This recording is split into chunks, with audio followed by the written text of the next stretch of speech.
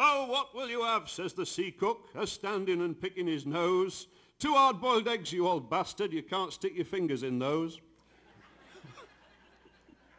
oh, the cook, he swore at the deckies, for someone had written words rude all over the door of his galley, me boys, and for libel he swore they'd be sued. Now the word said the cook is a bastard, and his cooking was certainly crude. He was fond of a drop of the bottle, me boys, and not only his dumplings were stewed.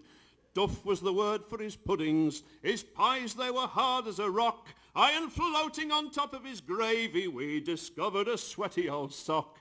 Now the cook staggered back to his galley. He ranted, he raved, and he swore that he'd have his revenge on them deckies for the terrible words on his door. But when news of it came to the captain, with laughter the old fellow shook. He said, who called the cookie a bastard? You mean who called the bastard a cook?